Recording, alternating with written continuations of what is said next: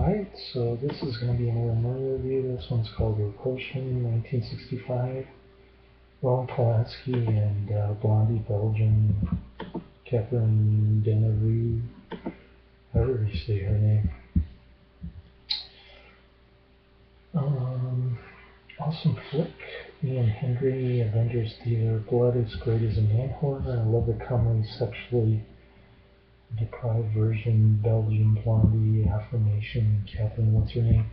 There's a rape scene which my coworker, pretend sister, calls degrading to women, not to mention condoning rape. So if you're easily offended, stay away. Uh, the glorious black and white imagery is breathtaking. And it's like an earlier female version of Spider, if you've ever seen them. Hands coming out of the wall, malleable walls, that kind of stuff. Great stuff.